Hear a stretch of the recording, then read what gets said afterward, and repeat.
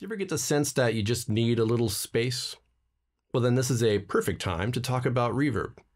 Now, reverb is a massive, complicated topic. There's a million and one manufacturers, there's convolution versus algorithmic. We're not even going to talk about hardware. There's a million things to choose from. And I can't choose for you, but what I can do is walk you through my setup, tell you about why it works for me, and maybe that'll help you when you're setting up your stuff. Let's do it.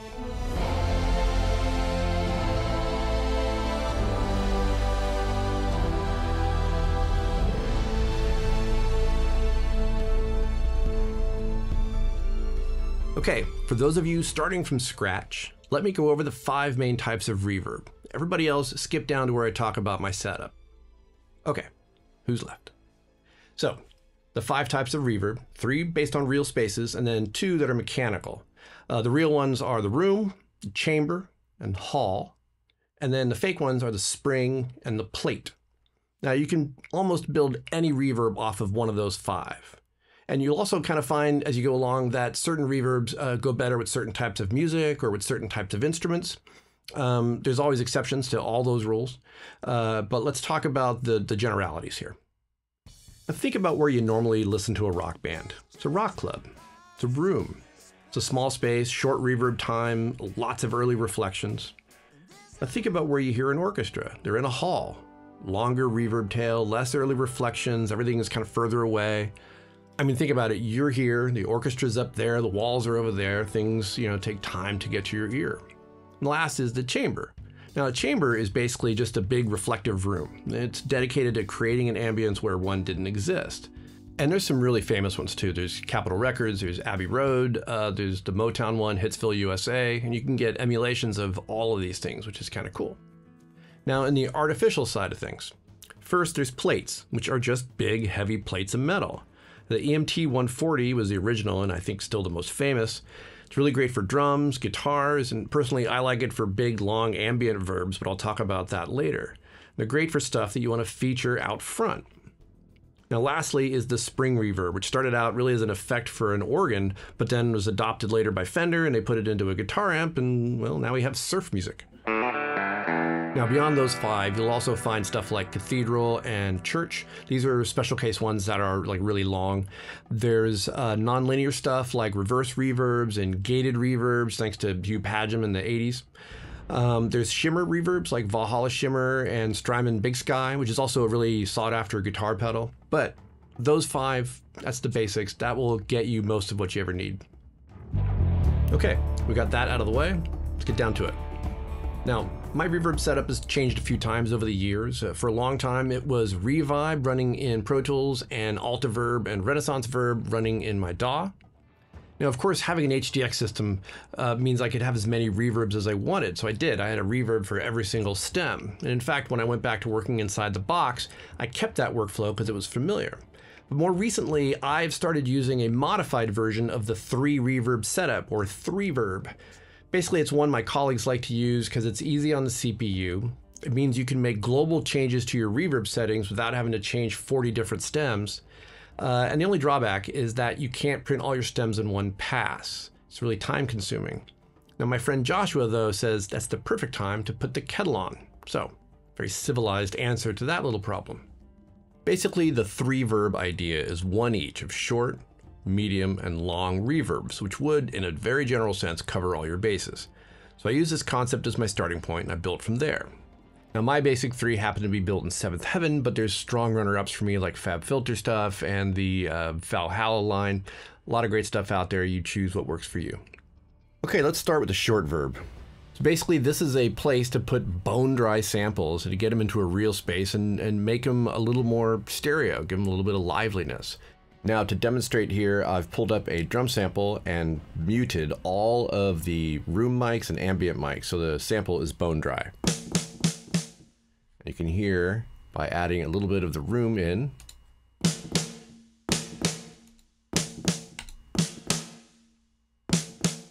And you can kind of season to taste.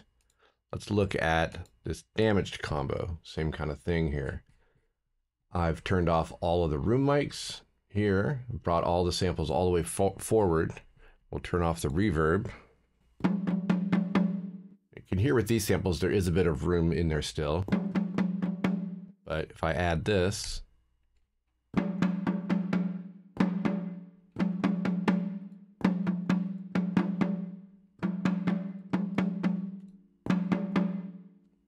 So as you can see, it's not a lot, it's just enough to give it a little bit of space, a little bit of liveliness. And next I've got hall verbs. I have a medium and a long. They're both based off the same algorithm. The important thing about having two reverbs of the same algorithm with different decay times gives me a little leeway. I can send you either a tighter sounding hall, this 1.5, which is great for foreground instruments as well as anything more aggressive like short strings and brass, and a longer verb with a bit more pre-delay and a lusher, more distant sound. But they're the same algorithm, so they sound like they're in the same space. Okay, to demonstrate this, I want to show you this in context. I'm going to start with the Spitfire Strings, a short patch, which actually has its own reverb baked in. But we're going to take that out. I'm going to go to just close mics, which I've changed right here.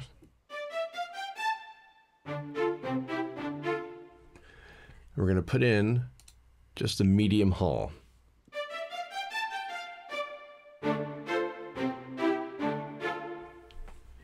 So you can see how it's nice for detailed stuff like that.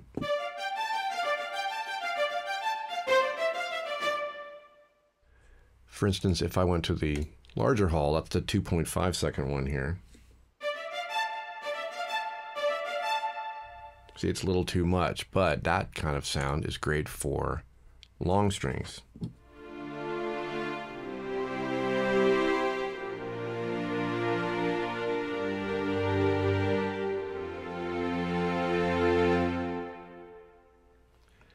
So I can kind of mix and match based on how I'm going to use the sound. So a shorter hall for the more detailed and aggressive stuff, and then the longer hall for the longer, lusher stuff. Okay, moving on to plates. I have two plates, one at 1.5 seconds and the second at around 3 seconds here. You'll notice uh, longer the plate, I add a little more modulation and I take a little bit more low end off just because uh, I don't want it to get boomy. Now to show you the difference on those two, uh, I pulled up a dry acoustic guitar patch.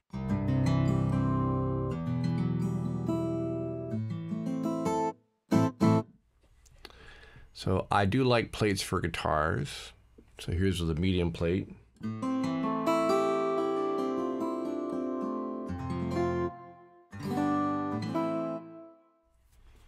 And with a long plate,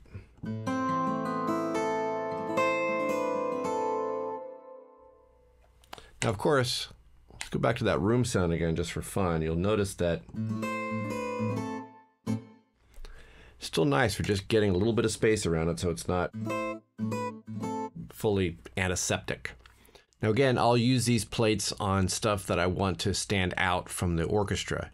Uh, they're great on stuff like guitars, uh, pianos, dulcimers, uh, some percussion, vocals. They're great on. So uh, again, I've got a mix and match kind of setup, a medium plate and a long plate using a very similar uh, algorithm, well, the same algorithm as the 140, but uh, with just slightly different settings. And it covers my bases. Okay, this next one, this is my absolute favorite. Uh, this has been in my palette for 15 years or more. Um, you take a plate, set it to 10 seconds or 15 seconds or even more, put a lot of modulation on it and a little bit of delay in front of it, but no pre-delay, just an actual delay in front of it.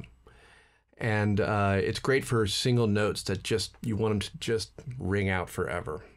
Let me show you. So I pulled up this Celeste patch here. Let's listen to it bone dry.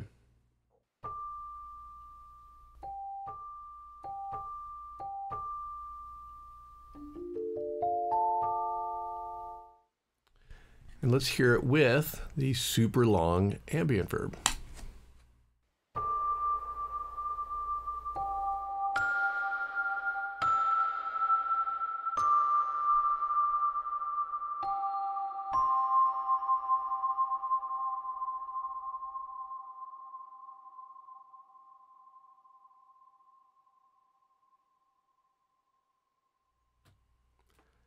So that's that. As you can see here, um, I put an EchoBoy with the mix down very low. Actually, this is uh, uh, this is on the effects um, send, but I'm keeping the mix actually um, closer to the dry side because I needed to feed the reverb.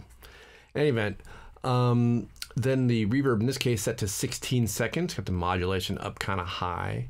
Drop a lot of the low end uh, out just to make sure, again, it doesn't get rumbly or woofy. In this case, I changed the Celeste mics to overhead and mid. Uh, I didn't like the close mics because they're a little on the thumpy side for, for this kind of application. So in this case, as you see, I'm still using the Soundtoys. Um, I also have used the Valhalla Shimmer, Eventide's Black Hole. Uh, also, some of the 480 stuff, like the one from Native Instruments, would work probably as well. So anything that does a super, super long plate would work. Now, one other thing I do, and this is a really common technique, so I'll cover it really quickly, is I EQ the sends going into the reverb. It's often called the Abbey Road technique. Air quotes all the time. Um, but you're just basically uh, rolling off low end here, rolling off some high end before it hits the verb. It keeps the verb from getting too boomy or getting too sizzly. Uh, Cubase users, make note, uh, you cannot use the channel EQ to do this. Um, this EQ actually comes after the inserts, so you would be EQing the output. You can use pre and put in low roll off there, excuse me, high, high roll off and a low roll off there. Or just do what I did, which is just drop in an EQ, any kind of EQ. I just happen to use Pro Q3. Okay, so that's my setup. It's pretty specific to the way I work, but it does cover not just orchestra, but pretty much anything else I can throw at it. If you have any questions or comments, put them down below. Please like and subscribe, and I will catch you guys on the next one.